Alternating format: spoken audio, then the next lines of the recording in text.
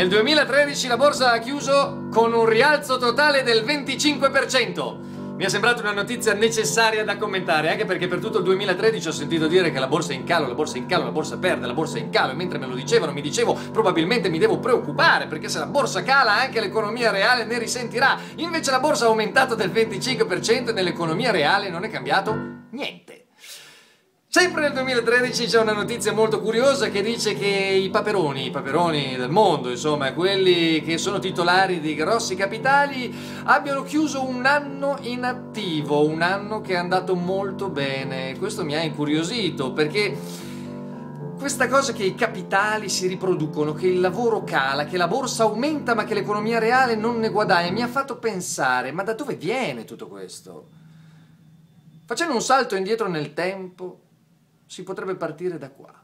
1600. Lo Stato, le leggi, il popolo. Lo Stato fatto dal popolo che fa le leggi per il popolo, il famoso tridente democratico. 1789, la rivoluzione francese, cadono delle teste a volte tutto cambia perché non cambi niente. 1920, Stati Uniti, due nomi, Bernays, Lippmann, uno inventa l'esistenza commerciale, l'altro la cultura della visibilità. L'esistenza commerciale e la cultura della visibilità. 1940, seconda guerra mondiale. 1944, Bretton Woods, e qui è una sfida. Minor Keynes contro Dexter White, la sterlina contro il dollaro, vince il dollaro, diventa la moneta degli scambi internazionali, nasce la Banca Mondiale e il Fondo Monetario Internazionale. 1950, uh, viene pensato l'euro. E nel 1980 poker. Reagan, Thatcher, Kohl, Mitterrand è una visione del mondo che ha il potere e si chiama neoliberismo. E da qui cambia tutto. Tutto quello che aveva mandato avanti il mondo fino a questo momento non c'è più. O meglio, non si smette di produrre, eh? si disloca. Cina, Brasile, India, Messico, intanto si risparmia. Risparmiare è un termine tecnico, si dice slimming down. Slimming down vuol dire dimagrire. E dimagrire per un'azienda vuol dire una cosa sola, licenziare. Licenziare. Licenziare. E in fondo era già storia. Nel 1970 un signore di nome Fausto Amodei scriveva una canzone che aveva un testo che più o meno faceva così.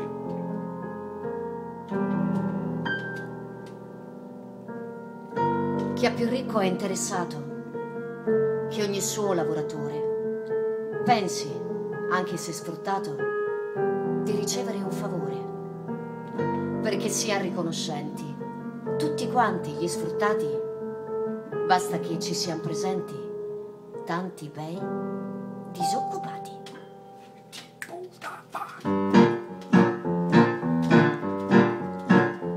Chi ha più soldi a convenienza che chi ha invece poche lire, creda giusto aver pazienza e sperare nell'avvenire e fidare che il meccanismo che arricchisce il ricco adesso, anche senza il socialismo, faccia poi con lui lo stesso sta più nella pelle quando le opinioni altrui sono sempre uguali a quelle che fanno arricchire lui. Chi è più ricco c'è il problema di tenere ben nascosto il principio che il sistema segua un certo presupposto. Chi conosce la materia sa che ricchi si diviene solo grazie alla miseria di chi in fondo ci mantiene sta più nella pelle quando le opinioni altrui sono sempre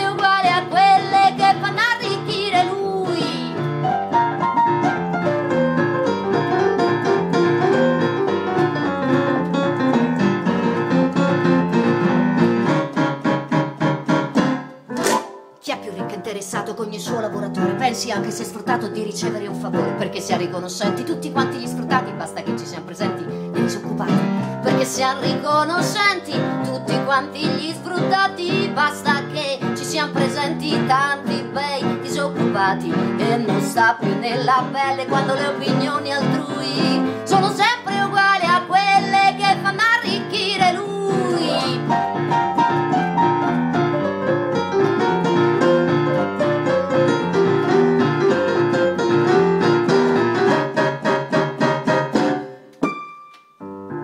Ovviamente questa cosa che chi è più ricco diventa più ricco, chi è più povero diventa più povero, che questi capitali nel mondo si polarizzano e che si polarizza anche la ricchezza è soltanto una teoria, una visione, forse negativa, ma come diceva qualcuno, molto, molto, molto più famoso di noi, a pensare male si fa peccato. Però in fondo, quasi sempre, si ha ragione.